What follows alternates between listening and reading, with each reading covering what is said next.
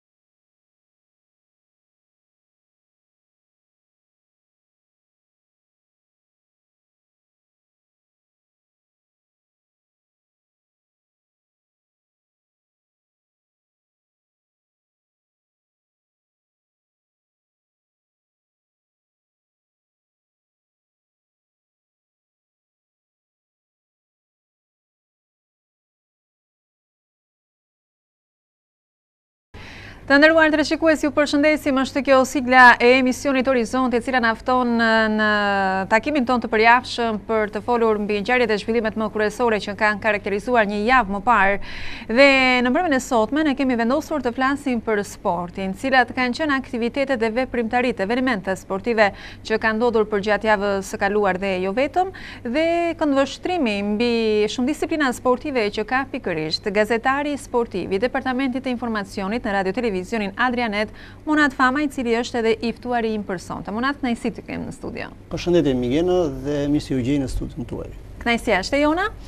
Atëherë, Monat, ashtu siç kemi bërë dhe në emisionin paraardhës, ne do të flasim për ngjarjet më kryesore, aktivitetet sportive në fakt që kanë karakterizuar qytetin e Durrësit. Le të themi që janë të shumta, por gjithsesi një këndvështrim të përgjithshëm në lidhje me këtë jetë sportive që ndodh në rajonin e Durrësit, ç'mund të thuhet?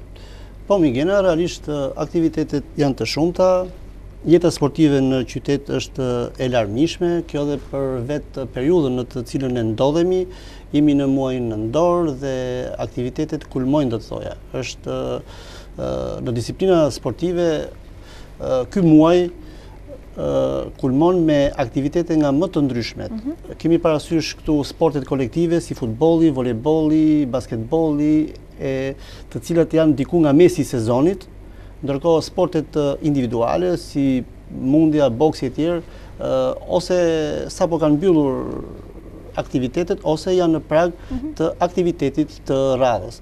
Realisht në disiplina të ndryshme sportive, sigurisht edhe situata është e ndryshme. Në varësi të rezultateve kam parasysh që janë arritur deri tashmë.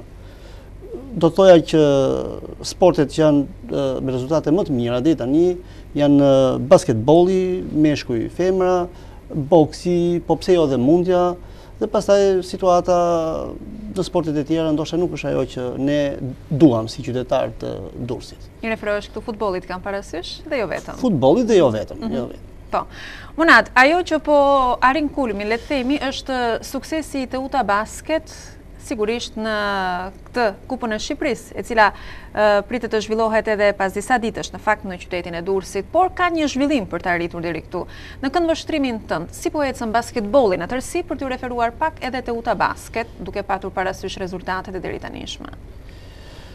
Sigurisht, unë e thashë që ndër sportet që ne krenohemi, do të thoja, është basketbolli, për meshkuj dhe për femra. Teuta Basket në meshkuj është skuadra model Në të gjitha pikëpamjet, një skuadër e mirë organizuar, një skuadër solide, ku kemi element tepër cilësorë, janë pesë basketbollistë të ekipit kombëtar, që tashmë luajnë për ngjyrat e Teutës. Kemi Shestanin, Daliun, Gorean, Janin, Thanon e lojtarë të tjerë me shumë emër do thoja në basketbollin shqiptar, sikurse edhe më të rinj si Mirdita, Skilja e ndonjë tjetër, të cilët janë gërshetuar më së miri për të arritur te këto rezultate që aktualisht ka arritur skuadra e Teutës. Sa i takon kampionatit, jemi në javën e gjashtë të kampionatit, ku Teuta realisht është e dyta në renditje, ka 4 fitore dhe 2 humbje dhe paraqitja realisht është shumë pozitive. Edhe në dy humbjet që ka pësuar, do të thoja, ka pësuar, janë pësuar humbje në sekundat e fundit dhe ishin në analizën e përgjithshme të lojës, në mënyrën se si u zhvillua loja, ishin krejtësisht humbje të shmangshme.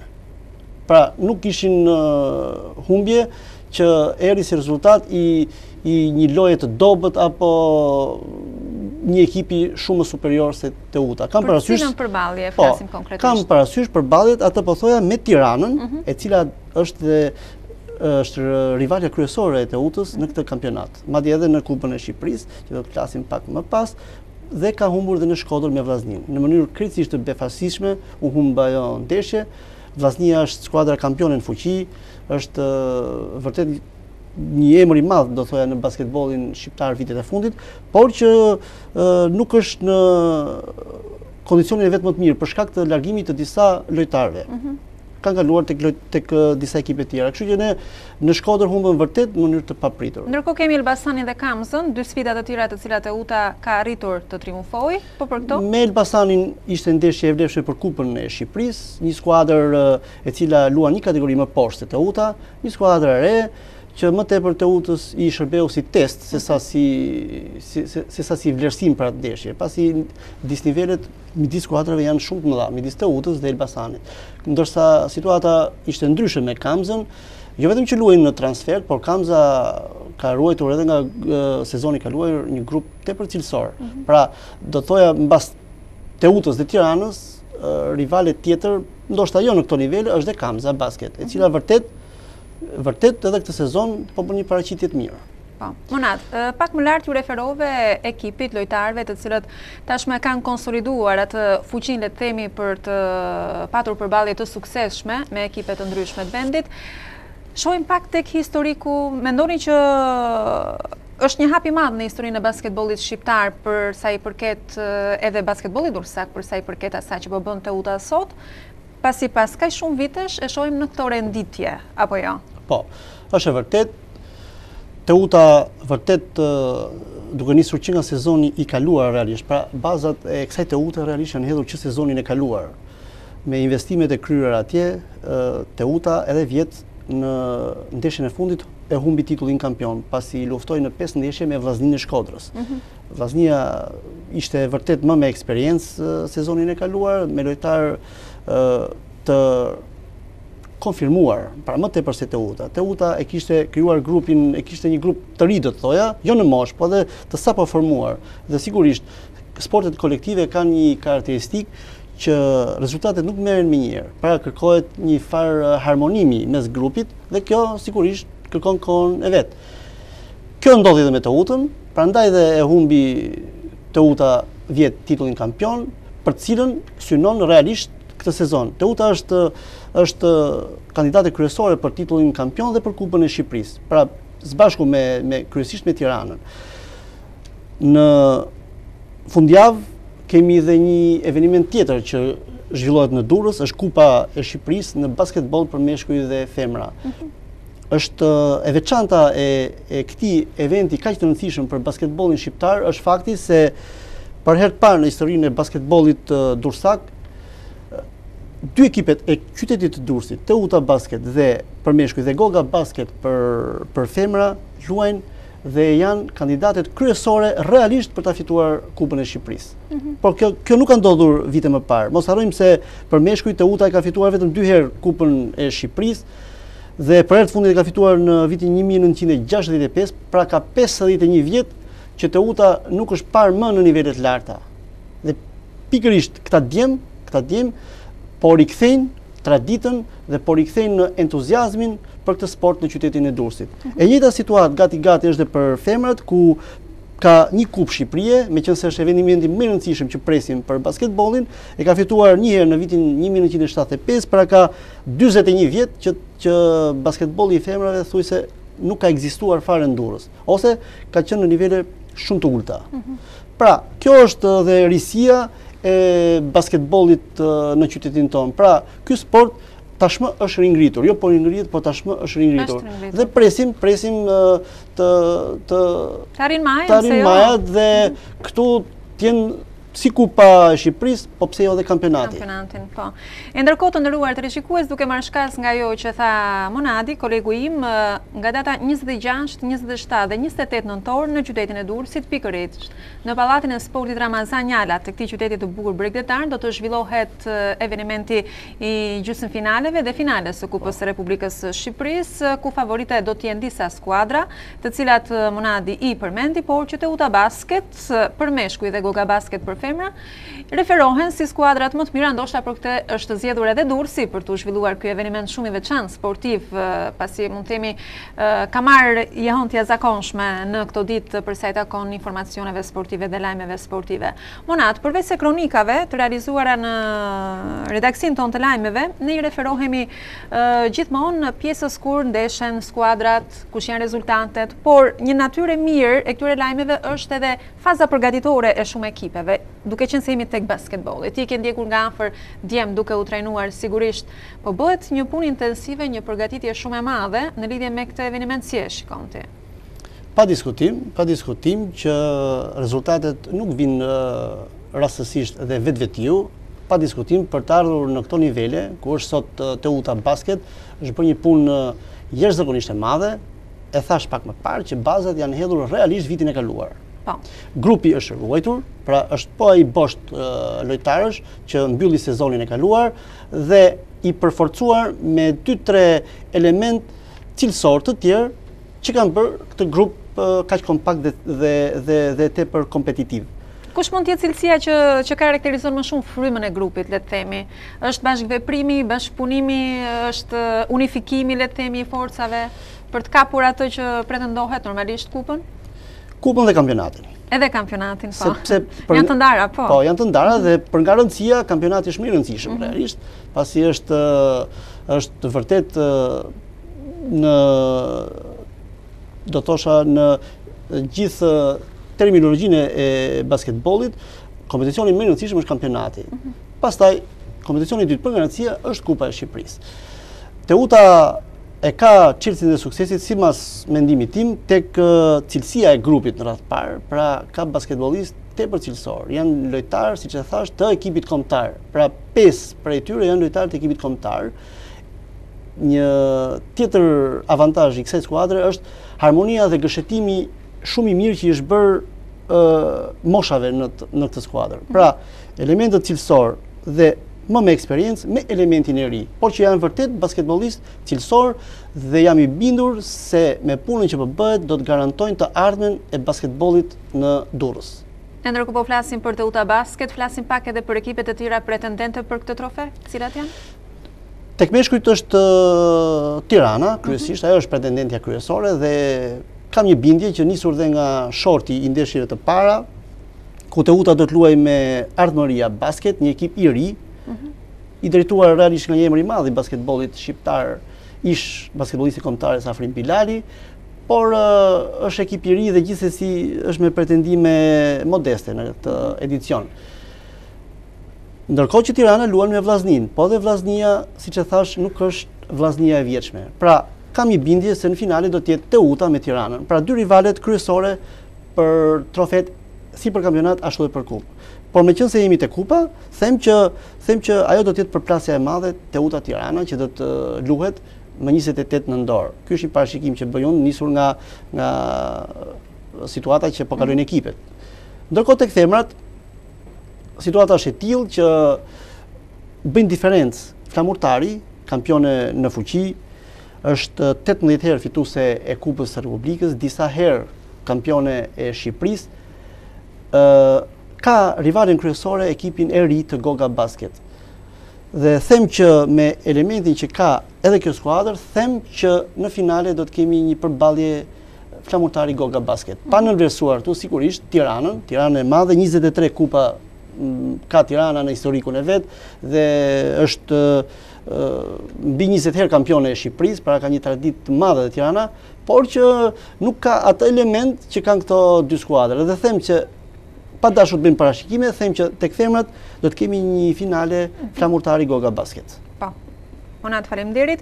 Ndërkohë të nderuar teleshikues, i referohemi edhe njëherë tre datave të rëndësishme, ku do të mbahet Kupa e Republikës së Shqipërisë në basketboll për meshkuj dhe femra në qytetin e Durrësit pikërisht në pallatin e sportit Ramazan Njala në datat 27, 28, njëzet e gjashtë, më falni njëzet e shtatë dhe njëzet e tetë nëntor, sigurisht një ftesë për të gjithë është e hapur që të ndjekin emocione, entuziazëm, spektakël madhështor që do të dhurojnë shtatlartët e basketbollit shqiptar, sigurisht për të parë edhe më pas dhe në fund të të, të gjithë këtij evenimenti se kush do të rrëmbejë trofeun pra për Kupën e Republikës së Shqipërisë.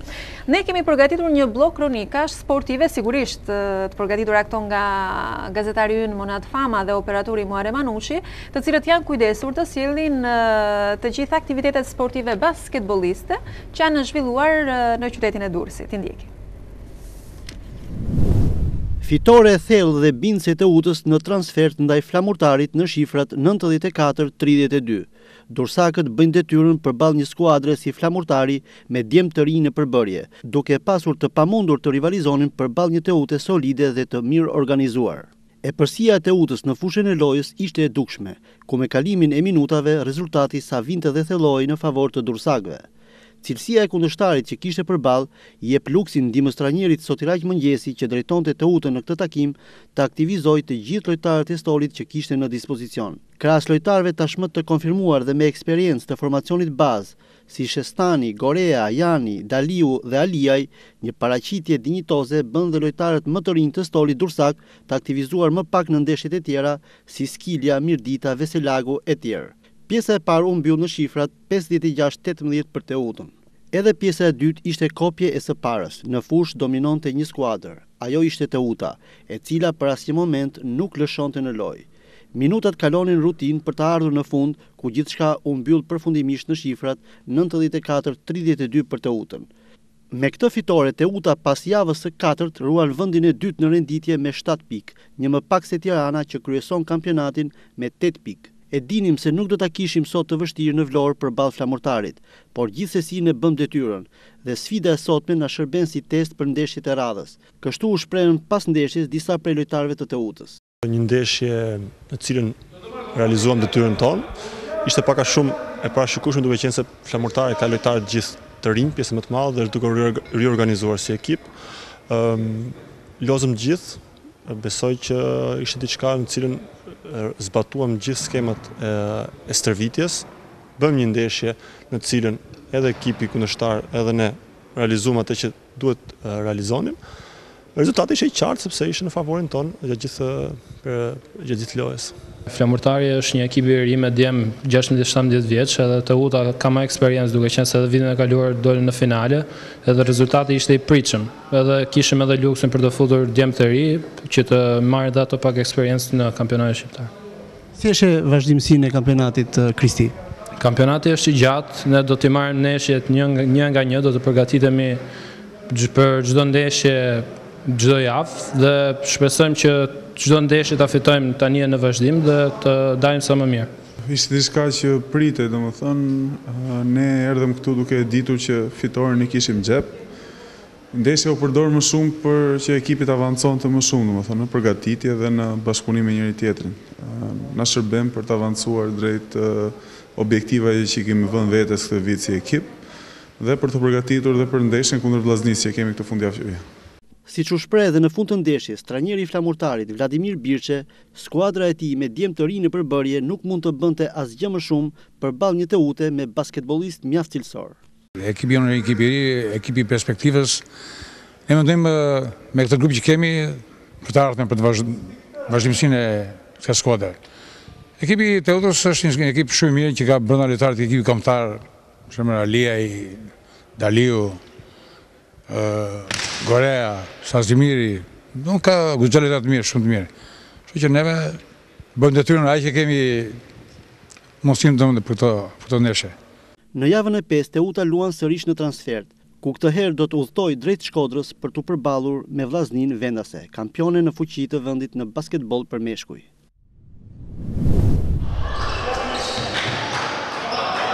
Teuta në basketboll për meshkuj e nis mbarë fazën e dytë të kampionatit me një fitore emocionuese në Kamzë ndaj skuadrës vendase Kamza Basket në shifrat nëntëdhjetë, tetëdhjetë e tre. Në përgjithësi u zhvillua një lojë e bukur dhe ritëm të kënaqshëm, ku të dyja skuadrat me pikë të barabarta në renditje kërkonin suksesin në këtë përballje.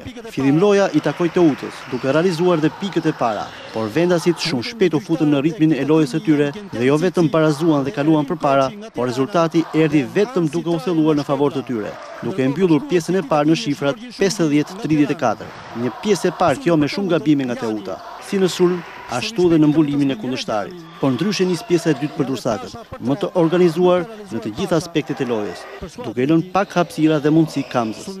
Ishin minuta që flisnin vetëm për Teutën, duke treguar dhe një pregatitje të lartë fizike, duke përballuar një kundërshtar jo të lehtë. ku trajneri Sotiraq Mëngjesi me zëvendësimet e alternuara që kreu, ruajti në parametrat e duhur freskinë fizike të grupit. Pak minuta përpara përfundimit të ndeshjes, Teuta krijoi një diferencë pikësh, të cilën diti ta ruajë deri në fund duke e mbyllur me fitore këtë sfidë në shifrat nëntëdhjetë tetëdhjetë e tre.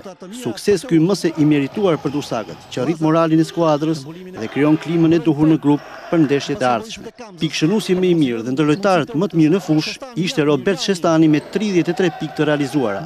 Menjëherë pas përfundimit të ndeshjes, njëri prej lojtarëve më me eksperiencë tek Teuta, Mire Djani, për Adria Net u shpreh. Takimi ishte shumë emocional, ekipet luftuan të dy deri në sekondën e fundit për fitoren. Ne kishim përgatit mbase nga ana morale pak më mirë ndeshjen. E deshte gjithë ekipi të fitonte. Të gjithë djemtë ishin të motivum dhe arritëm më në fund të merrshim atë fitore të merituar. Edhe pse ekipi i Kamzës në fushën e vet është shumë shumë i fortë edhe edhe sot tregoi që është një fushë e vështirë. Gjithsesi ekipi arriti me sukses edhe kjo është ajo që ne kishim synim. Ndërkohë trajneri i Kamzës, Adem Muhametaj, u shpreh se e kishte vlerësuar në maksimum këtë ndeshje, por skuadra e tij gaboi dhe nuk diti të ruajë ritmin e lojës dhe avantazhin e krijuar, kjo dhe për meritë të Teutës. Ne e kishim vlerësuar shumë ndeshjen dhe luajtëm shumë mirë fillimisht. Pastaj patëm ndoshta vetëknaqësi, nuk e kuptova sepse dolëm nga ritmi i lojës. Me thënë të drejtën, u munduam me bo ato lëvizjet tona për të futë ekipin në rrjedhën e lojës, në tonus, po Teuta u mobilizu shumë. Pamë një tablo krejt ndryshe në periudhën e tretë edhe të katërt prej Teutës dhe na vunë jashtëzakonisht shumë vështirësi. Kishte probleme se u ngarkua me lojtarë të gjatë, me personale dhe nuk mundëm me përballu dot Teutën, e cila ka lojtarë shumë të mirë. Është ekip shumë i mirë, shumë i përgatitur dhe faktikisht të them të drejtën vetëm se ngelet me urue, se s'kam çfarë të them tjetër gjë, se loja u bo shumë e bukur në dy palët. Vetë rezultati me aq shumë pikë tregon dhe ato oshilacione në lojë nuk duhet të ndodhëshin, por ja që basketbolli këto e ka. Pas kësaj fitoreje, Teuta është e dyta në renditje me dhjetë pikë. pas Tiranës që me fitoren e djeshme në Shkodër ndaj Vllaznisë kryeson kampionatin me dymbëdhjetë pikë. Kjo ishte ndeshja e fundit që Teuta luante në transfertë, pasi katër ndeshjet e tjera të kësaj faze do t'i luajë në shtëpi, duke filluar që nga ndeshja e radhës ndaj Ardhmëria Basket. Me fitoren e thellë njëqind e tetëmbëdhjetë, pesëdhjetë e dy ndaj Elbasanit në Pallatin e Sportit Ramazan Njala të Durrësit, Teuta kualifikohet në turin tjetër të Kupës së Shqipërisë, duke vendosur në këtë mënyrë dhe një rekord historik sa i përket pikëve të shënuara në një ndeshje, ku për herë të parë në historinë e basketbollit durrsak të meshkujve realizohet kjo kuotë pikësh në një ndeshje zyrtare. Ndonëse përballë kishte një skuadër me djem të rinj si Elbasani, që luan një kategori më poshtë, Teuta e kishte vlerësuar maksimalisht këtë sfidë, sa për synimet që ka në këtë kompeticion, aq dhe për faktin se vinte përpara sportdashëve durrsak pas asaj humbje zhgënjyese në Shkodër. Në fushën e lojës diferencat mes skuadrave ishin mjaft të dukshme, çka e reflekton dhe rezultati në përfundim të ndeshjes. Në një epërsi të thellë të durrsakëve, pjesa e parë e lojës u mbyll në shifrat gjashtëdhjetë e dy njëzet e shtatë. Më e bukur dhe me më tepër ritëm pjesa e dytë, ku trajneri i Teutës, Sotiraq Mëngjesi, aktivizon të gjithë të rinjtë që kishte në dispozicion. Në këtë fraksion loje, veç basketbollistëve me më tepër eksperiencë si Ylli Pasha, Denis Veselagu apo Kristi Gorea, që ishte edhe pikëshënusi më i mirë për të dyja skuadrat me njëzet e një pikë të realizuara, u aktivizuan duke bërë një paraqitje të shkëlqyer basketbollistë të tillë si Kevin Skilja, Franc Isufi dhe Renato Mirdita, duke realizuar së bashku në këtë fraksion loje pesëdhjetë e gjashtë pikë. Përfundimisht gjithçka u mbyll në shifrat njëqind e tetëmbëdhjetë, pesëdhjetë e dy për Teutën, e cila me këtë fitore kualifikohet për në turin tjetër të Kupës së Shqipërisë. Pas ndeshjes, dy prej basketbollistëve të Teutës, Robert Shestani dhe Kevin Skilja, për Adrianet u shprehën. Ishte një ndeshje Jo shumë e vështirë, këtu pa farësisht Elbasanin, një ekip jo pretendent i cili lun në kategorinë e dytë, po më shumë kjo neshje na shërbeu për lojtarët për lojtarët e rinj, për neshën e fundjavës që kena kundër Kamzës, që duhet me tana mundësitë me arrit një fitore bindëse. Ndeshja shkoi goxha mirë, patëm disa gabime në mbrojtje që erdhën si nënvlerësim i kundërshtarit, por që janë të rregullueshme në Ndeshjen tjetër me Kamzën. Shërbeu për për të vënë në funksion disa skema që kemi punuar gjatë javës dhe ishte si parapërgatitje për për takimin që po vjen. Ndërkohë trajneri i Elbasanit, Banush Sinani u shpreh i bindur në vështirësinë që paraqiste kjo ndeshje për skuadrën e tij, përballë një skuadre pretendente si Teuta. E dinim edhe vetë si skuadër vështirësinë e kësaj ndeshje, sepse Teuta është një ndër ekipet elitë dhe është pretendent për të fituar edhe kampionatin këtë vit.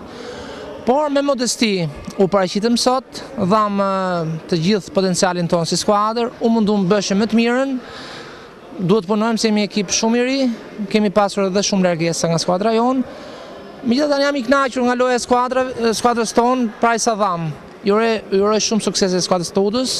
Në fundjavë rikthehet kampionati me javën e parë të fazës së dytë, ku Teutën e pret një sfidë e vështirë, teksa do të luajë në transfertë ndaj Kamza Basket. Ndërkohë në ndeshjen e parë luajtur në Durrës, ka fituar Teuta tetëdhjetë e pesë gjashtëdhjetë e pesë. Ne jemi rikthyer sërish në studio të nderuar teleshikues pas transmetimit të këtyre kronikave përmbledhëse që flisnin pikërisht për basketbollin dhe ecurinë e Teuta Basket deri më tani. në përballjet e saj për kampionatin, por edhe për Kupën e Republikës së Shqipërisë dhe për të mbetur tek lojërat me dorë, Monad, ç'mund të themi për sportet e tjera? Po, kemi edhe volejbollin mhm. për meshkuj dhe për femra. Interesante është se situata është krejt e kundërt në ekipin e femrave dhe në ekipin e meshkujve. Ndërkohë që në ekipin e femrave situata do të thoja është pozitive, sepse jo vetëm nga rezultatet që ka arritur skuadra, por luan me vajza të reja dursake. Mosha mesatare është 18 vjeç. Është interesante që një skuadër me këtë moshë mesatare po arrin rezultate të tilla. Aktualisht mban vendin e tretë, bile ishte në vendin e dytë një javë përpara përfundimit të fazës së parë, pasi vajzat e kanë mbyllur fazën e parë të kampionatit të volejbollit për femra, u mundën në Tiranë 3 me 1 dhe pikërisht kjo humbje ndikoi që Teuta të zbresë një vend më poshtë. E drejton ekipin një emër shumë i madh i volejbollit dursak si Edmond Jazexhi, i cili prej vitesh drejton këtë skuadër dhe e njeh mjaft mirë mentalitetin e volejbollit këtu në në Durrës. Mhm. Ndërkohë, ë tek meshkujt situata është krejt e kundërt, është një ekip që i pafinancuar, domethënë edhe i pambështetur nga, nga donatorë apo sponsorë të ndryshëm, por nuk po arrin të gjejë vetveten. Pra, po, po, po çedon pak në, në kalimin e brezave, do të thoja. Pra, në qoftë se tek femrat, ne luajmë me vajza të reja dhe nga puna e mirë që është bërë pikërisht tek grupmoshat në volejbollin e femrave, sot po arrihen rezultate, ndonëse jo me mbështetje të madhe financiare, mm -hmm Ndryshe tek meshkujt, të cilët po. nuk po arrijnë të gjejnë elementin e duhur vendas, dursak do të thoja, duke qenë se s'ka mbështetje financiare për të marrë lojtarë të, të, të tjerë, situata është shumë e rëndë, do të thoja, Teuta është zhytur në fund të renditjes dhe dhe në qoftë se nuk do të ketë ndonjë mbështetje financiare fazën tjetër, pasi ka mbetur edhe një javë nga përfundimi i fazës së parë ku ka një ndeshje të vështirë me Partizanin, ndonëse luan Durrës, po nisur nga nga ato se çfarë çfarë ofron Teuta dhe çfarë ofron Partizani. Partizani është skuadra që jo vetëm kryeson kampionatin, por është edhe skuadra pretendente kryesore për titullin e drejtuar këtë sezon nga i madhi Ylli Tomori. Teuta vetëm shpëtimi vetëm në këndvështrimin tim është afrimi i një sponsori që do të bëjë të mundur ta ta largojë Teutën dhe të zhbllokojë këtë situatë të zymtë ku gjendet skuadra durrsake. Po. Dhe referuar Teutës në volejboll të nderuar teleshikues, janë disa kronika që janë përgatitur përgjatë javës nga Monade, ju ftoj t'i ndjekim. Sezoni aktual i volejbollit për femra e gjen Teutën mes skuadrave më të mira të vendit dhe një prej pretendenteve kryesore për titull. Puna mjaft e mirë e bërë ndër vite me ekipet zinxhir tashmë po jep frytet e veta. Teuta është një skuadër e re me një grup vajzash me një moshë mesatare rreth tetëmbëdhjetë vjeç. Duket se çelësi i suksesit në rezultatet e arritura deri tani është ndërthurja mjaft e mirë e brezave në skuadër, ku krahas lojtareve me eksperiencë që luajnë prej vitesh te Teuta, si Bora Begiç, Alba Guzi, Ornela Gashi apo Romina Matoshi, në skuadër aktivizohen dhe lojtaret më të reja si Artjola Rexhepi, Lorgeta Avdyli, Elsa Disha e të tjera vajza që me talentin, pasionin dhe lojën e tyre po kontribojnë realisht në këtë ecuri pozitive të Teutës në kampionat. Trajneri Edmond Jazexhi i cili tashmë prej vitesh drejton Teutën, në një prononcim të tij për Adrianet, shprehet se është i kënaqur nga ecuria e deritanishme e skuadrës. Sigurisht jam i kënaqur për momentin nga ecuria e këtyre ndeshjeve të para. Ekipi im për momentin është i plotësuar, ka një gërshetim të elementit me përvojë, me, me vajza të reja, ka një, një mori vajzash të reja, dhe janë 5-6 vjeçare, të cilët kërkojnë shumë për të ardhmen. Lidhur me rivalitetin dhe objektivat në këtë sezon, trajneri Jazexhi shprehet. Rival për kampionatin kam tre ekipe, është UMB Volej, Partizani dhe Tirana. Po, si rival kryesor, kryesor është mbetet UMB Volej. Besoj se do luftojmë për, për, për titullin dhe për, për Kupën e Shqipërisë. Kur kanë kaluar gjashtë javë kampionat, Teuta mban vendin e dytë në renditje me pesë fitore dhe një humbje. Ndërkohë kampionatin e kryeson Barleti Volej. Ndeshjen e radhës në kuadër të javës së shtatë të kampionatit, që përkon dhe me mbylljen e fazës së parë, Teuta do ta luajë në Tiranë kundër Partizanit. Situatë jo e mirë për volejbollin e meshkujve në Durrës, ku një javë përpara mbylljes së fazës së parë të kampionatit, Teuta është zhytur nga fundi i renditjes me një bilanc tepër negativ rezultatesh, me një fitore dhe gjashtë humbje, e fundit ajo me Studentin tre me një në Tiranë. Është kjo ndër paraqitjet më të dobëta të Teutës vitet e fundit, ku ndihet mungesa e një sponsori që do të bënte të mundur së paku mbajtjen e disa lojtarëve që kanë luajtur për ngjyrat e Teutës sezonet e fundit, kur dihet se një pjesë e tyre janë larguar në ekipe të tjera, katër prej të cilëve tek Erzeni i Shijakut, që këtë sezon rikthehet të luajë në elitën e volejbollit shqiptar të meshkujve, nën drejtimin e Rezart Mukës. Tashmë duken larg vitet kur Teuta shkëlqente dhe jepte tonin Kampionatit Kombëtar të Volejbollit për Meshkuj. Tashmë e vetmja shpresë tek durrsakët shihet afrimi i ndonjë sponsori që mund të bëjë të mundur ndryshimin e kësaj situate të zymtë tek Teuta. Por atë që nuk po e bëjnë dot në Durrës, duket se po e bëjnë fare mirë në Shijak, me Erzenin, një tjetër skuadër e qarkut të Durrësit, ku Erzenin po përpiqen ta rikthejnë në majat e volejbollit shqiptar të meshkujve. Skuadra shijakase në mungesë të një pallati sporti në Shijak, të gjitha ndeshjet në shtëpi i luan në Durrës. Pamjet në ekran i përkasin ndeshjes Erzeni-Vllaznia, luajtur në Pallatin e Sportit Ramazan Njala të Durrësit, ndeshje kjo me mjaft rivalitet, e fituar nga Erzeni tre me dy.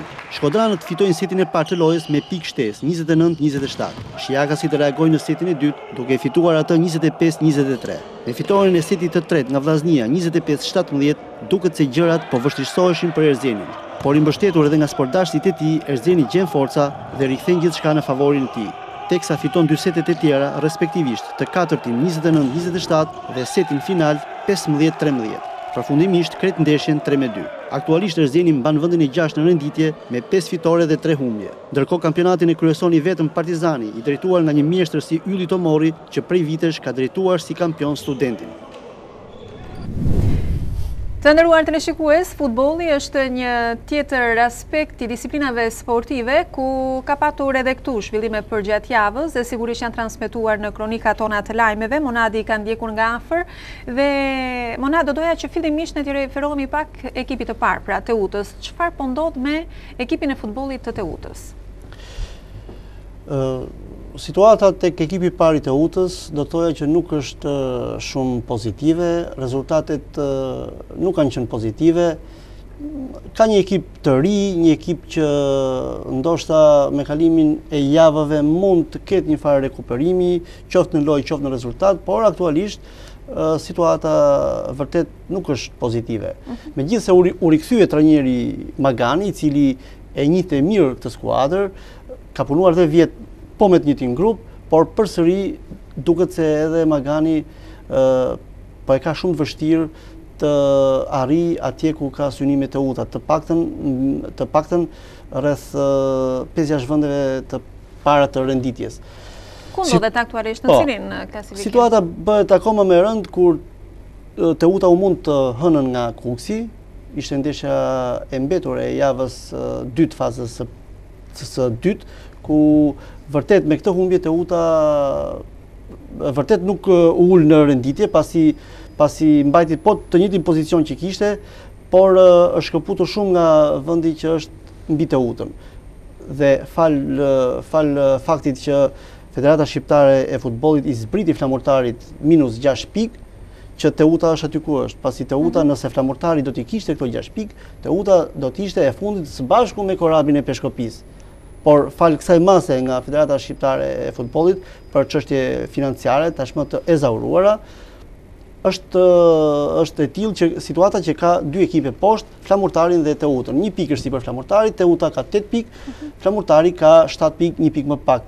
Por humbja me Kukësin jo Jo se e humbi me Kukësin dhe është fundi i botës, por mënyrën se si Teuta humbi me Kukësin, ndonëse realisht në krahasim me ndeshjet e tjera u bë një lojë e mirë, u bë një lojë e mirë nga ana e Teutës, madje ishte Teuta e para që kaloi në avantazh, por vihet re një fenomen që nuk di të menaxhojë avantazhin e arritur dhe pësimi i një goli e fut Teutën në ngërç dhe në një pozitë që nuk menaxhon dot as minutat e mbetura. Dhe kjo ndodhi edhe me Kukësin, ku Kukësi mbasi barazoi rezultatin, nuk kaluan as 5-6 minuta lojë, Kukësi bëri edhe golin e dytë, mhm. çka mori atë që donte fitoren në Durrës. Ndërkohë përballja tjetër për Teutën, cila është dhe ndonjë parashikim të mundshëm? Përballja tjetër e Teutës është uh, shumë më e vështirë se me Kukësin, është në Elbasan Arena me Partizanin, pasi siç dihet, Partizani ndeshjet e veta të shtëpisë i luan në Elbasan, për shkak se po ndërton kompleksin e vet mhm. dhe deri në përfundim ka një kontratë me Elbasan Arena dhe i po. kryen atje.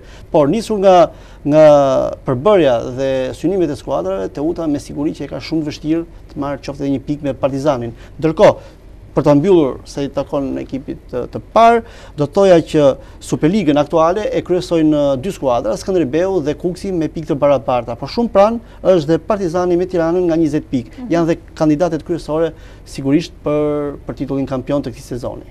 Po, Monat. Shumë interesant është fakti edhe angazhimi i femrave sportiste në futbol dhe ne kemi edhe një kronikë në fakt të nderuar teleshikues në lidhje me këtë lloj aktivizimi, shumë të veçantë, shumë special, por edhe shumë domethënës për sportin shqiptar dhe veçanërisht atë durrsak. Monat, si e shikoni këtë futbollin e femrave në ç'situatë ndodhet dhe A ka perspektivë për t'u zhvilluar më tej? Po, Mengele, kuptova. Unë e shoh si diçka shumë pozitive futbollin e femrave, jo vetëm në Durrës, por edhe në përgjithësi.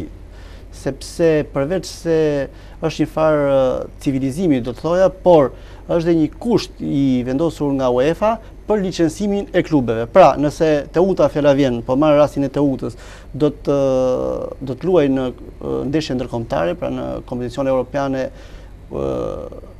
për Kupën UEFA ose mhm. Ligën e Kampioneve, duhet të ketë patjetër midis disa kritereve, infrastruktura etj etj, duhet të ketë dhe një ekip femrash. Mhm. Pikë të cilën Teuta e përmbush më së miri. Teuta ka një avantazh tjetër se është investuar shumë realisht në terrenet sportive ku një nga këto terrene bën stërvitje dhe ekipi i femrave për të cilin po flasim. Në Akademinë Teuta që Drejtohet nga një emër mjaft i njohur i futbollit shqiptar si Hito Hitaj, po bëhet një punë mjaft e mirë, ka rreth tre katër vjet që funksionon kjo akademi dhe që nga grupmoshat më të vogla 6 vjeç e deri tek U19, që është grupmosha më e madhe përpara se këta të kalojnë në ekipet e para, është vërtet, është vërtet një akademi mjaft e organizuar ku pikë të rëndësishme të ose pjesë të punës së saj ka dhe futbollin e femrave. Sa i takon në situatës aktuale ku ndodhet futbolli i femrave në Durrës, duhet të them se për për eksperiencën, për kohën që ka ky ekip, mendoj se situata është e mirë. Aktualisht mba vendin e 5 në renditje, nuk është se janë, janë shumë skuadra, janë 10 skuadra, pjesëmarrëse në kampionatin kombëtar të futbollit për femra, pasi siç dihet, ka rreth 3 vjet që që Organizohet kampionati i futbollit të femrave nga Federata Shqiptare e Futbollit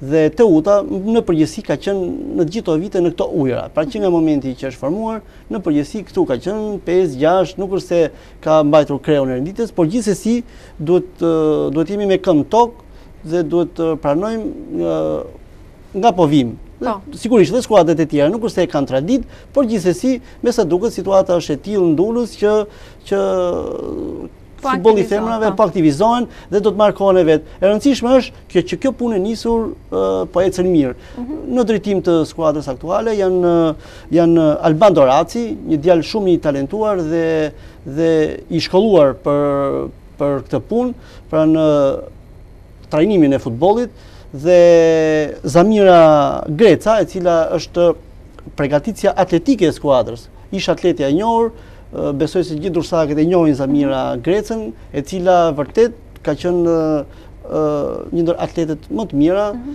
që ka pregatitur me dhjetëra atlete do thoja në Durrës dhe aktualisht është pranë Alban Doracit në pozicionin e pregatitëses atletike. Ajo që është kryesore dhe unë këtu duhet ta mbyll me futbollin e femrave është që kjo punë e nisur është vërtet mjaft pozitive dhe besoj se besoj se do të ecë mbarë.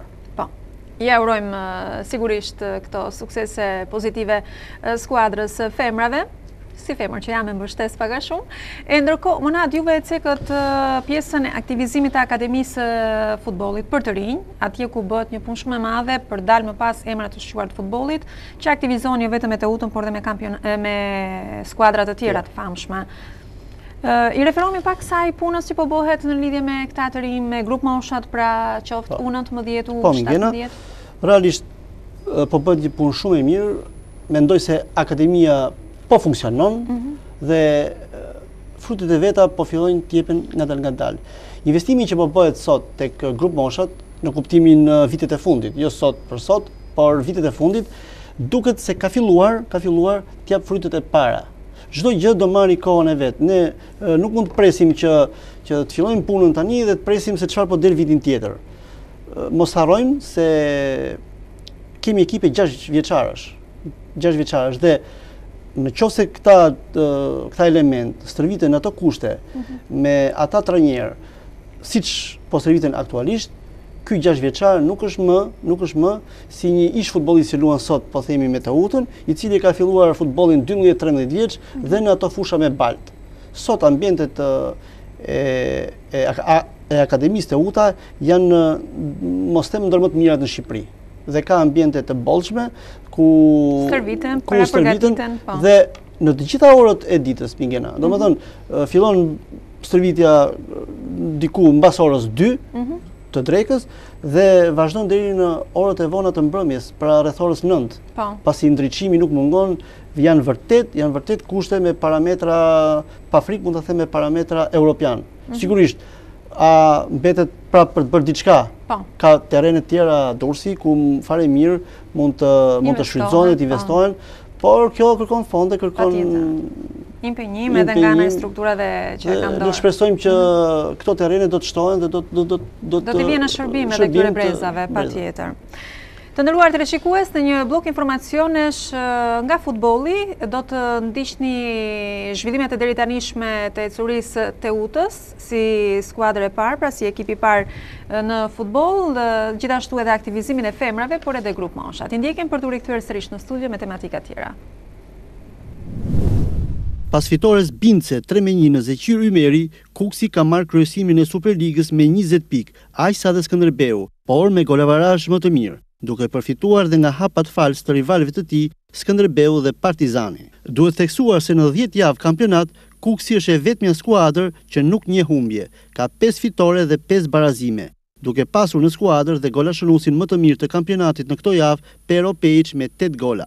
Ndërkohë skuadra tjetër e kreut, Skënderbeu, pas humbjes në Vlorë, duket se po kalon momente të vështira, duke u futur në krizë rezultatesh, ka pesë ndeshje që nuk fiton, duke regjistruar dy barazime dhe dy humbje në kampionat, si dhe një humbje në kupë me Apoloninë.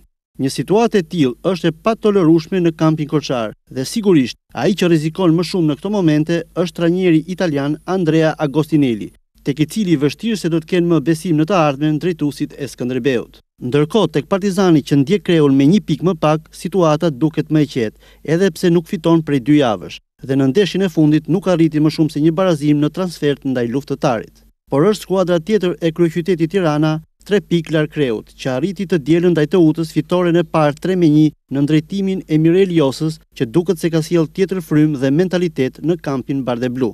Teuta ndonëse kaloi e para në avantazh që në minutën e katërt me Gripshin, nuk arriti të kontrollojë lojën, madje është ndëshkuar me dy gola në harkun kohor të dhjetë minutave. Edhe në pjesën e dytë, Teuta nuk arriti të ndryshonte diçka në lojë, duke i lënë shumë hapësira Tiranës, duke i dhënë në këtë mënyrë mundësinë të realizojë dhe golin e tretë me anë të Takut. Përfundimisht bardheblutë e Josës fitojnë tre me një, duke zhytur në fund të klasifikimit Teutën, ndërkohë që rivali i Teutës, Laçi, fitoi një me zero në fushën e tij me Korabin. Superliga nuk luan këtë javë, për shkak të impenjimit të ekipit tonë kombëtar në kuadër të eliminatoreve të Botërorit dy mijë e tetëmbëdhjetë kundër Izraelit më dymbëdhjetë nëntor në Loro Boriçi të Shkodrës.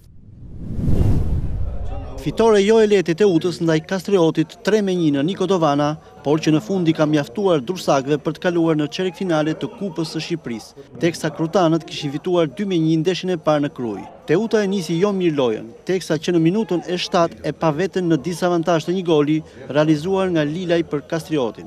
Teuta e befasuar nga goli i shpejtë i Kastriotit, nuk doli në lojën e saj thuajse për asnjë çast, me një lojë të shthurur, pa fantazi, me pak raste shënimi në portën mike gjatë gjithë fraksionit të parë të lojës. Pjesa e dytë nisi më mirë për Teutën, ku me kalimin e minutave presioni drejt portës kundërshtare erdhi në rritje. Goli i barazimit për durrsakët do të vinte vetëm në minutën e gjashtëdhjetë e tetë me anë të Bruno Ditës. Kaq i ka mjaftuar Teutës për t'u çliruar nga ai ngërç psikologjik që e kish mbërthyer prej minutash, pasi vetëm në harkun kohor të njëzet minutave arrin të realizojë dhe dy gola të tjerë me Rashicën dhe Gripshin. Përfundimisht tre me një për Teutën, rezultat ky që i mjaftonte durrsakëve për të kaluar Në çerekfinale të Kupës së Shqipërisë, pas ndeshjes trajneri i Teutës Gugash Magani u shpreh i kënaqur me kualifikimin e arritur, por jo me lojën. Jam i kënaqur vetëm me kualifikimin, asnjë gjë tjetër në fushë, sepse përveç se na pat penalizuar rezultati i parë dy me një në Krujë, mendoj që e morëm lehtë. Isha gjatë gjithë kohës shumë i fokusuar edhe gjatë stërvitjeve duke duke folur me lojtarët që skuadrat e ashtuquajtura të vogla në letër të hapin shumë punë dhe kjo kjo gjë na ndodhi sot. Aq më shumë që pësuam gol shumë shpejt dhe ajo që më shqetëson më shumë është momenti kur pësojmë gol skuadra bie në një pesimizëm dhe një ndjenjë frike që është diçka shumë shumë problem në të ardhmen sepse shikoj lojtarë që përveç se nuk japin më të mirën në fushë kanë dhe frikë në momentet e veçanta. Ajo është një ndeshje futbolli, tek e fundit fare është garë dhe ka tre rezultate brenda, e rëndësishme është që çdo njeri nga lojtarët apo edhe ne stafi duhet të marrë përgjegjësitë e veta dhe të japim më të mirën në fushë.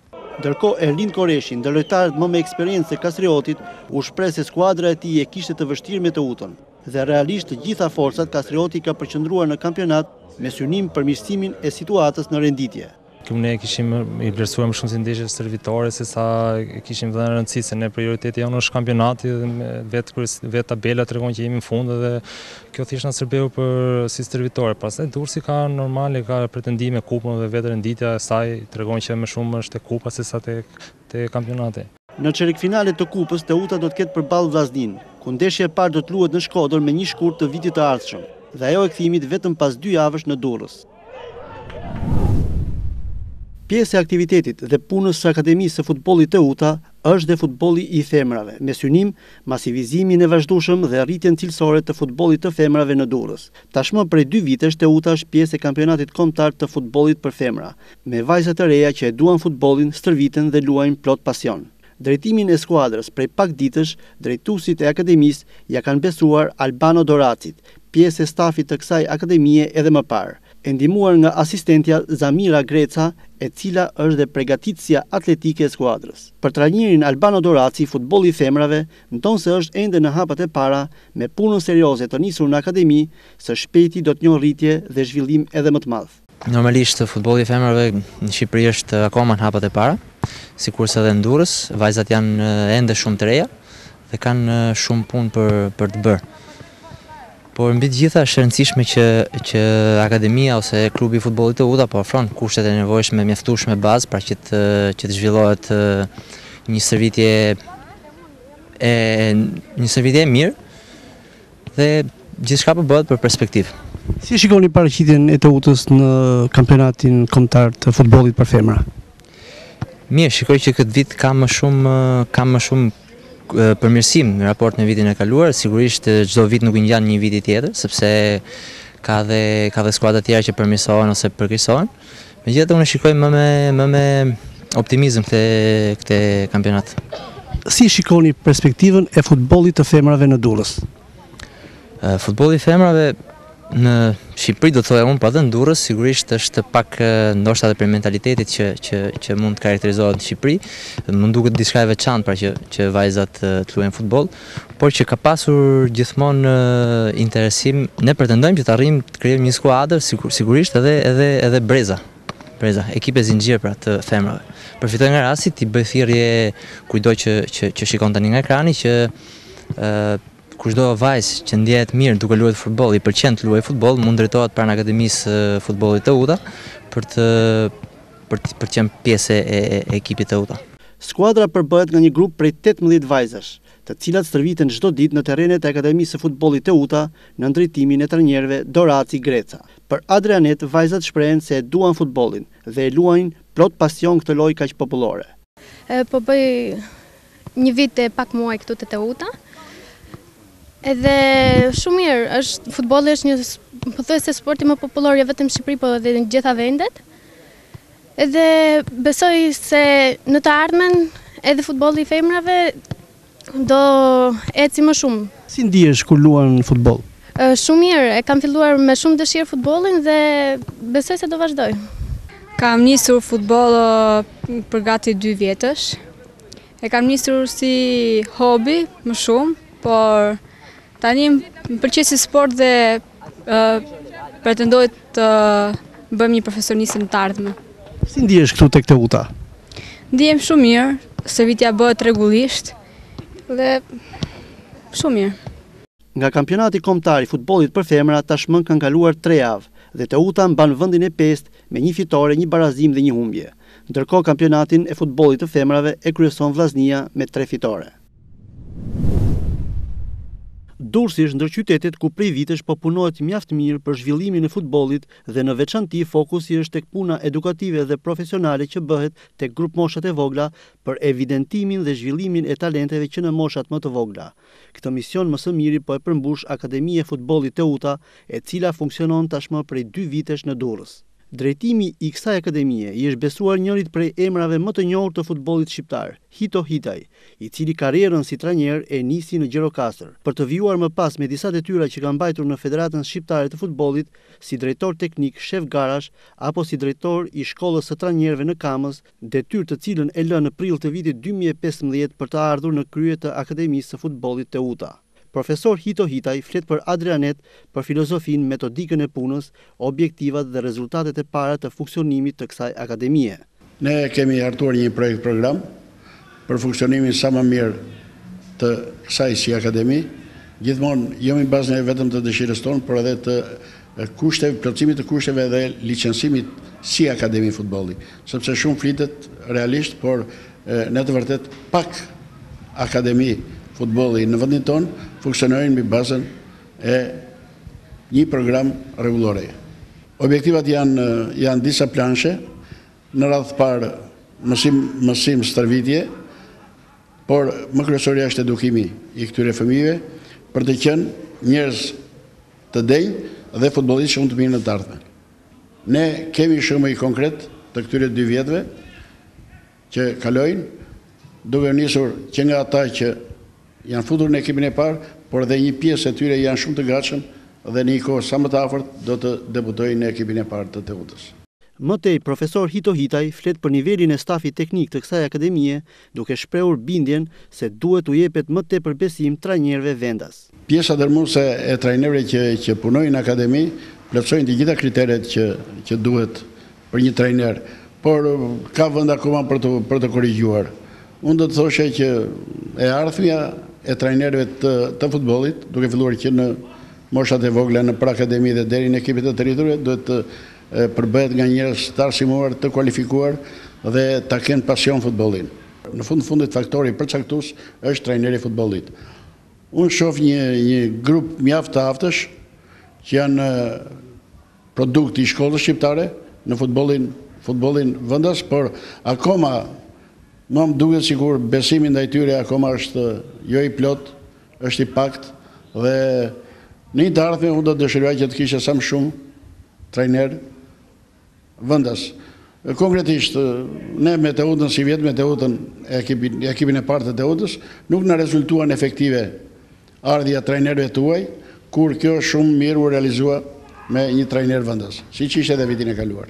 Hitaj më tej nuk lë pa përmendur terrenet stërvitore, si dhe rolin e prindërve duke i cilësuar ata si partner dhe pjesë organike të funksionimit të Akademisë. Ne prindin e konsiderojmë partner në punën tonë të përditshme dhe janë pjesë organike e funksionimit të Akademisë dhe nuk nuk e trajtojmë si një kontributor që paguan për fëmijën që e sjell në Akademi, por e konsiderojmë si partner. Ne jemi nga klubet, duke futur këtu dhe Akademinë e Futbollit, që kemi terrene, jo të plota, jo të mjaftueshme, por kemi terene të domosdoshme për të zhvilluar dhe për të stërvitur ekipet e akademisë tonë. Megjithatë, ne në ambientin rreth stadiumit, kemi akoma dhe mendimi është se pse mund të investohet akoma për të siguruar dhe një fushë tjetër të madhe, kur ne një fushë sivjet e plotësuam, me të gjitha kushtet teknike të të saj dhe mund të them që ne jemi nga klubet në Shqipëri që kemi një infrastrukturë më të plotë dhe më të kompletuar. Në terrenet e Akademisë Teuta stërviten çdo ditë rreth treqind e dyzet futbollistë, nga grupmosha më e vogël tetë vjeç deri tek të rinjtë. Puna dhe vëmendja e treguar sot në Akademinë e Futbollit Teuta me ekipet zinxhir është investimi më i mirë për të garantuar të ardhmen e futbollit në Durrës. Sigurisht që rezultatet e gjithë kësaj pune të nisur Priten pak nga pak dhe frytet e para duket se po çelin, ku nuk mungojnë talentet që spikasin. Një model i këtij rrugëtimi të nisur drejt zhvillimit dhe rritjes së cilësisë së futbollit është dhe ekipi i Teutës nën shtatëmbëdhjetë vjeç, që aktualisht është pjesë e Superligës për këtë grupmoshë. Trajneri i këtij ekipi Shpëtim Kuçi, i cili drejton këtë skuadër prej dy vitesh për Adria Net, Flet për punën dhe procesin stërvitor që aplikon në ekip. Procesi stërvitor këtu te Akademia e Teutës, ekipi U shtatëmbëdhjetë profesionist, është i bazuar në një program stërvitor vjetor që neve e dorëzojmë në fillim të sezonit te Drejtori i Akademisë Teutës dhe në bazë të këtij, pasi aprovohet ky program stërvitor, ne zhvillojmë stërvitjen ditore. Pra, me një proces stërvitor të organizuar, me kushte shumë të mira, dhe me bazë materiale pothuajse të kompletume. Të gjithë sportistët janë të impenjuar me bo stërvitjen sipas rregullave të akademisë. Ka elementë që spikasin, elementët si t'thush ka ka një një evolim të thush në procesin stërvitor që fillojnë të shfaqin disa si t'thush cilësi sportive që ne mundohemi të T'i çojmë më përpara duke i stërvit këto djem ka element që mund të punohet. Pjesë e stafit në drejtim të këtij ekipi është dhe Armand Balliu, që së bashku me trajnerin Kuçi zbërthejnë dhe aplikojnë atë program stërvitor të miratuar nga shefi i akademisë. Trajneri Shpëtim Kuçi është i kënaqur me grupin aktual të lojtarëve që drejton, jo vetëm nga rezultatet e deritanishme në kampionat, por dhe nga sjellja e tyre brenda dhe jashtë fushës së blertë.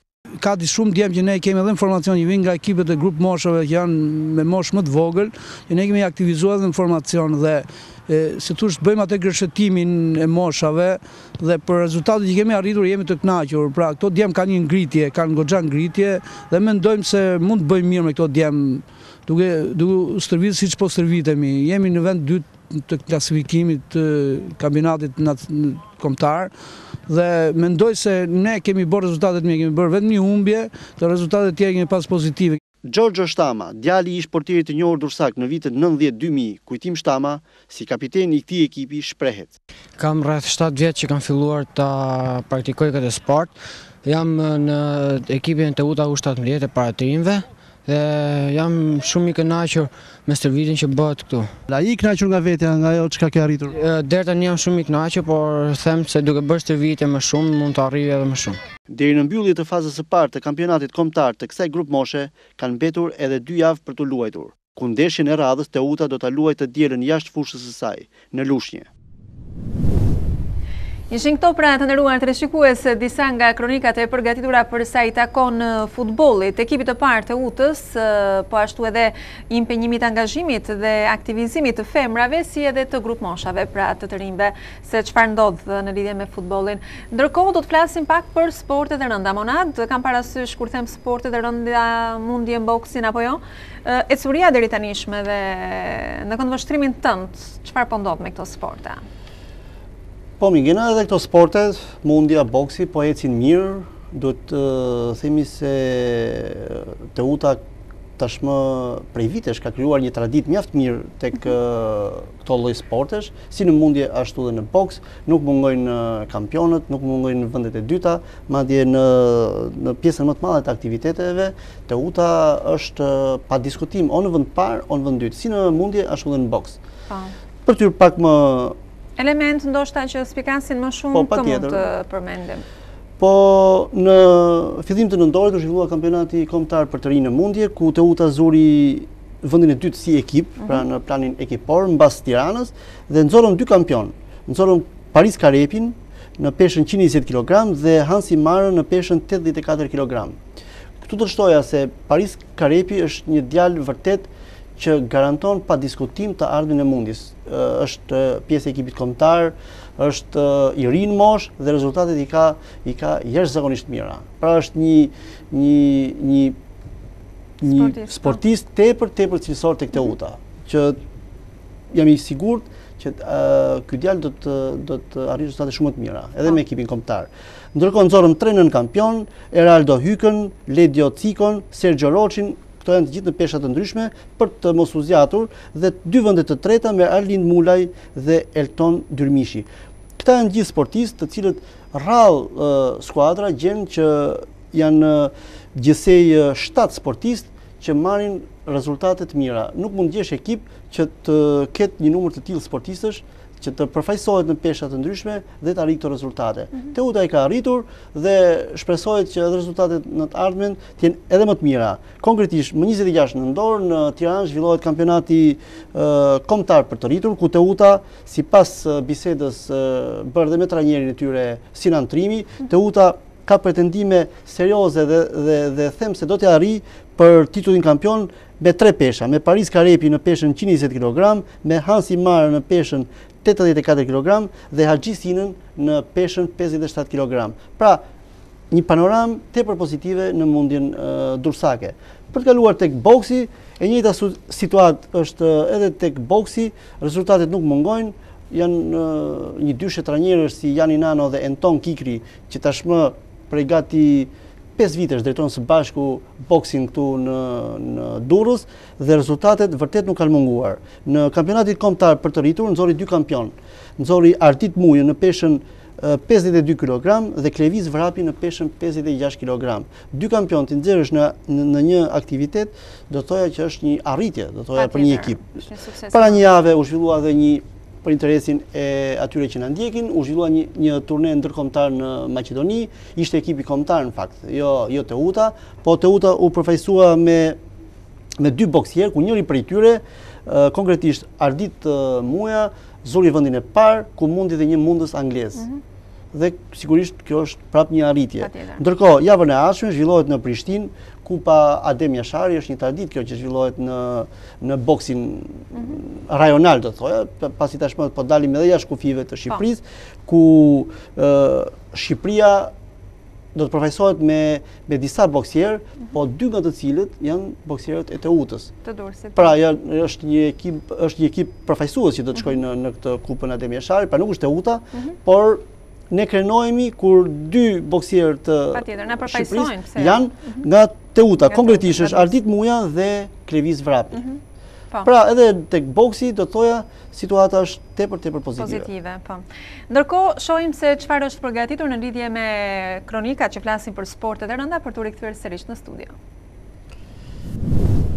Përfaqësim dinjitoz i mundjes durrsake në kampionatin e fundit kombëtar për të rinj me një bilanc pozitiv. Dy kampionë, Paris Karepi në peshën njëqind e njëzet kilogramë dhe Hansi Mara në peshën tetëdhjetë e katër kilogramë. Tre nënkampionë, Eraldo Hyka në peshën tetëdhjetë e katër kilogramë, Ledjo Ciko në peshën gjashtëdhjetë e gjashtë kilogramë dhe Serxho Roçi në atë pesëdhjetë e pesë kilogramë dhe dy vende të treta me Arlind Mulajn në peshën njëqind e njëzet kilogramë dhe Elton Dyrmishin në atë gjashtëdhjetë kilogramë.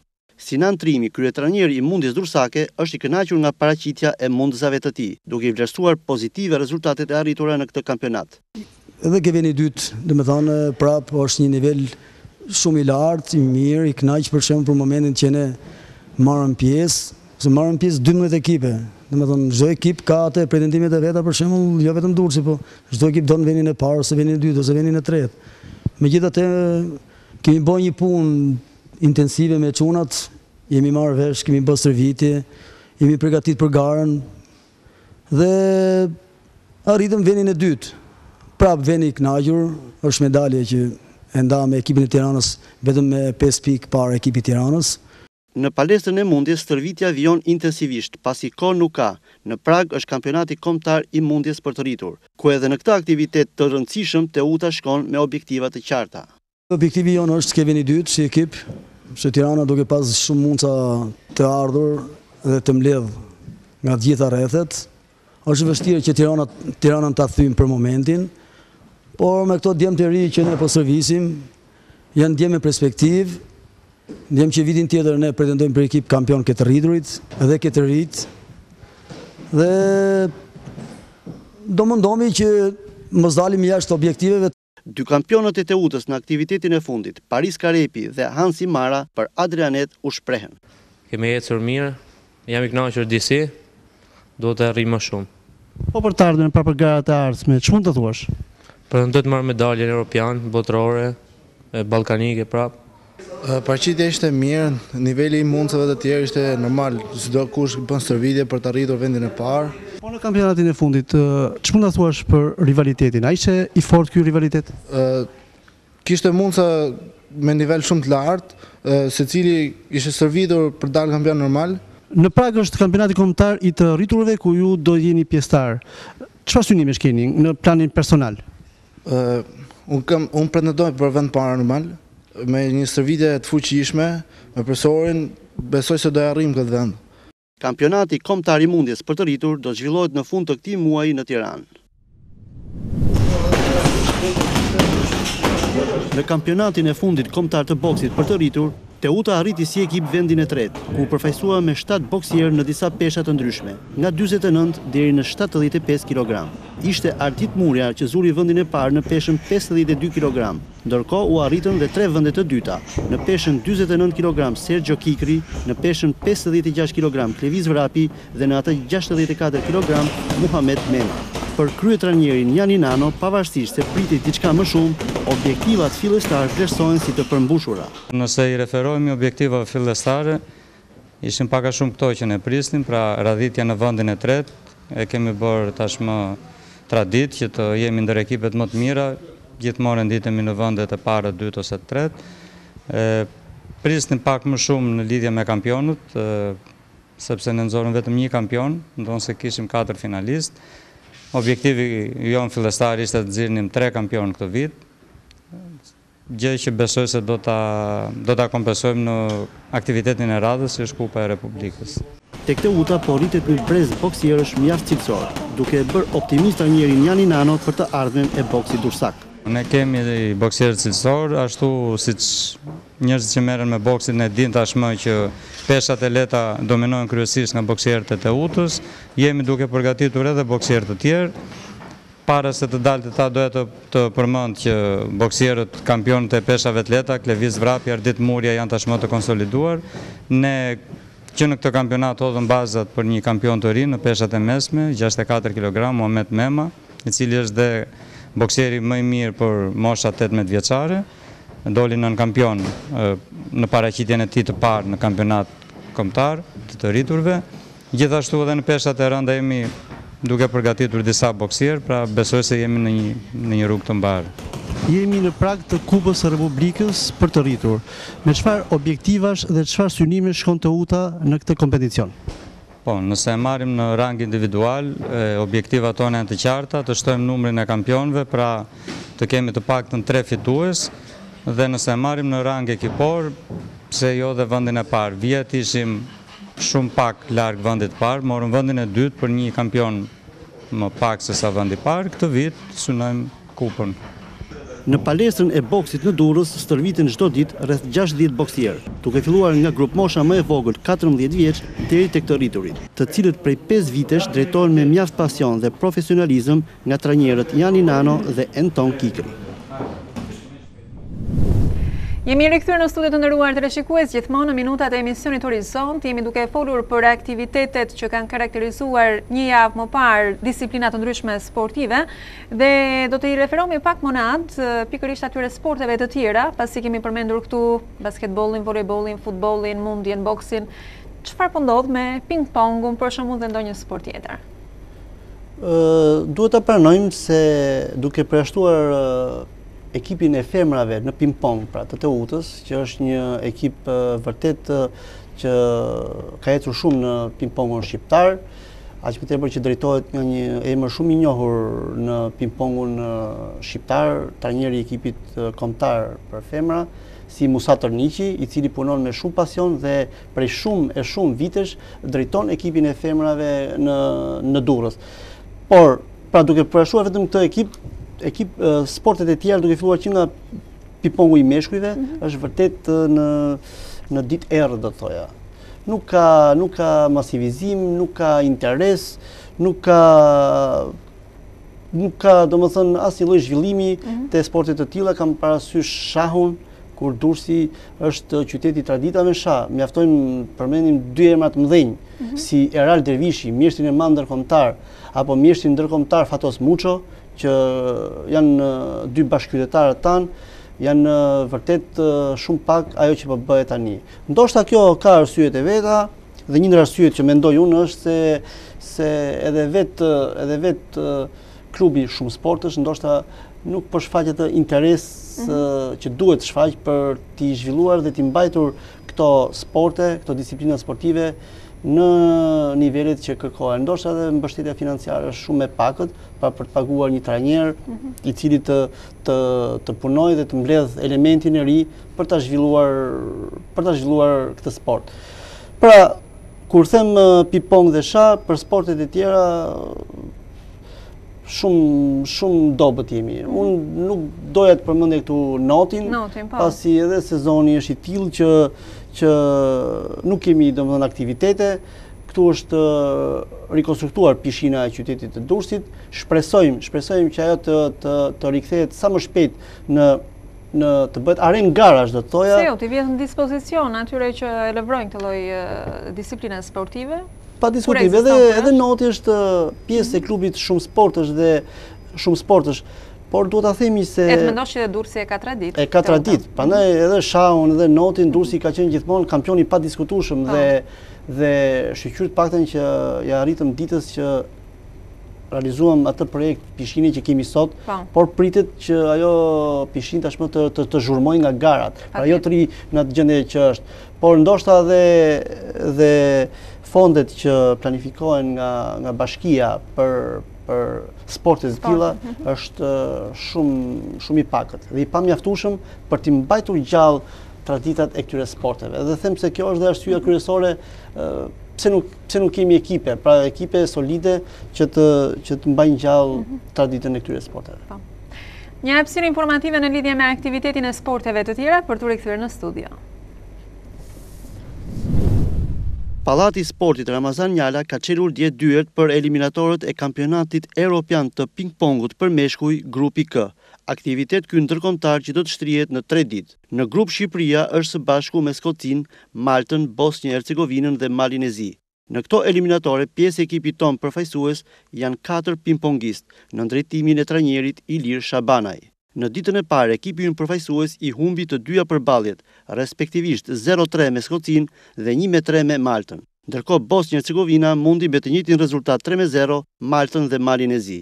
Trajneri Ilir Shabanaj i sheh këto eliminatore si një mundësi të mirë për rritjen e nivelit të pingpongut shqiptar të meshkujve, duke vlerësuar disi më lart nivelin e rivalëve. Me thënë të drejtën, në këto gara ekipi jonë është, siç thashë me një moshë të re lojtarësh, të cilët nuk e kanë dhe eksperiencën e duhur për gara të këtij niveli, por them se do t'i vlejë edhe për garat kthyese që do të zhvillohen në mars, me të njëjtat ekipe dhe këtu do të përcaktohen dy vendet e para që do të marrin pjesë në garat e mëtejshme.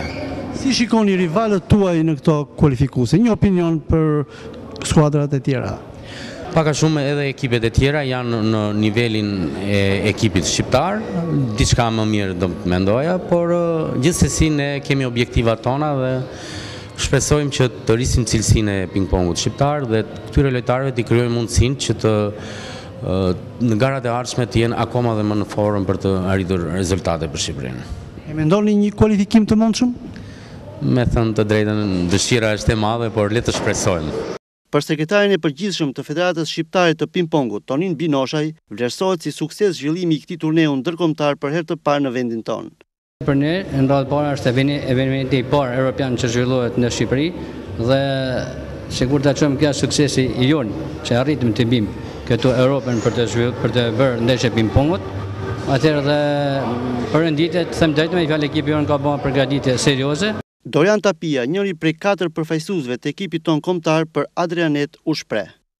Kemi bërë punë të mirë, jemi stërvitur shumë çdo ditë për një paraqitje për më të mirë. Po siç dihet, konkurrentët tanë qëndrojnë pak shumë më lart.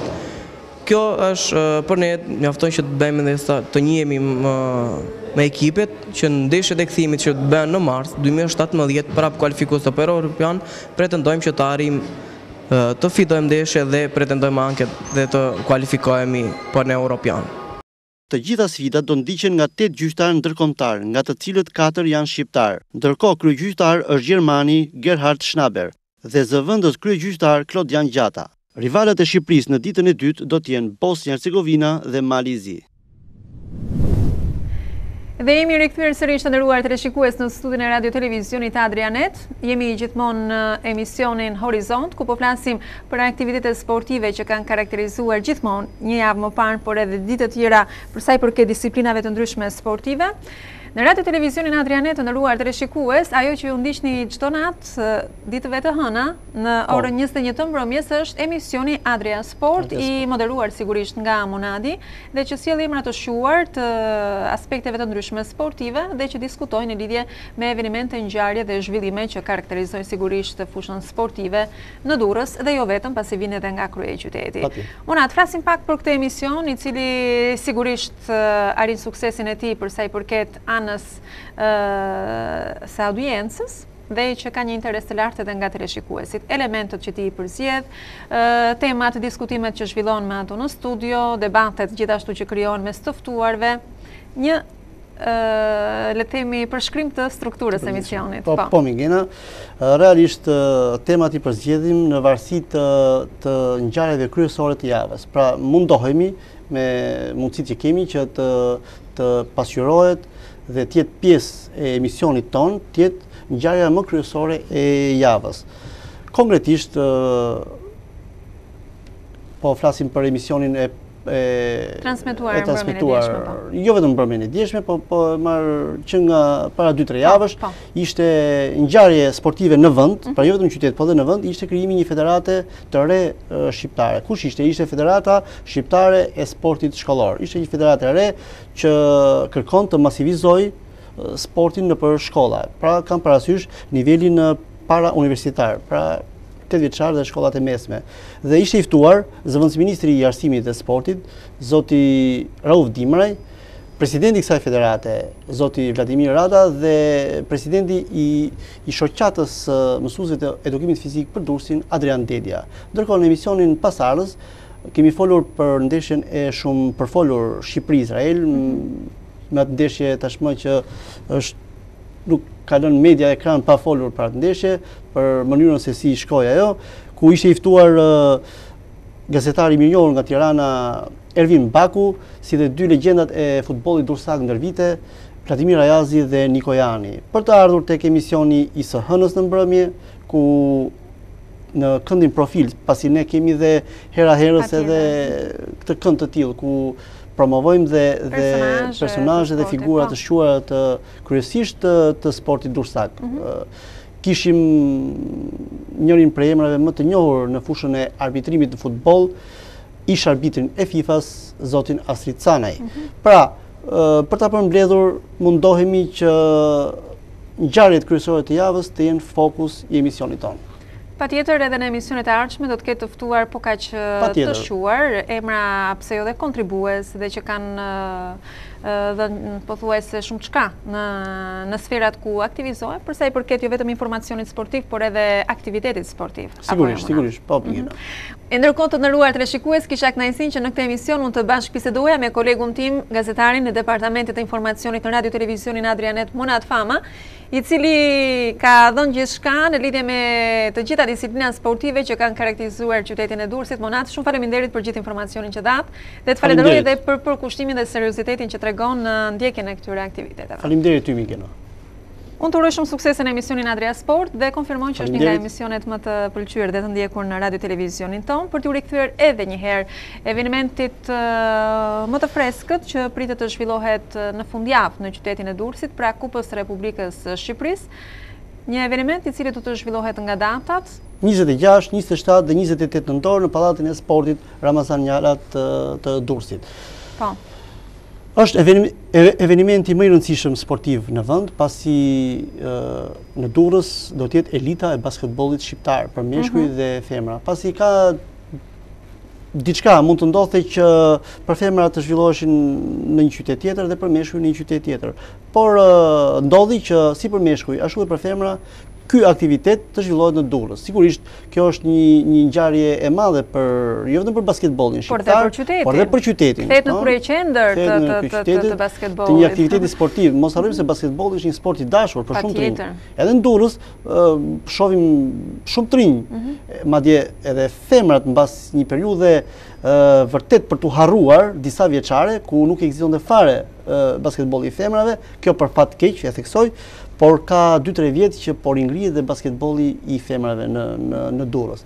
Dhe, dhe them se edhe interesi i, i shikuesve, të cilët nga java në javë shohim se po rikthehet interesimi pranë pranë pallatit të sportit të qytetit të Durrësit nga afër, pasi edhe ne mundohemi t'i t'i t'i shikojmë në ekran, t'i pasqyrojmë edhe ndeshjet kështu, por gjithsesi, gjithsesi ë interesimi i shikuesve është shumë i madh. Mhm. Dhe për t'iu rikthyer aktivitetit, unë e thashë që kandidatet kryesore për meshkuj dhe për femra janë dy ekipe të qytetit të Durrësit dhe kjo ne na krenon. Është Teuta Basket, dhe Goga Basket për femra.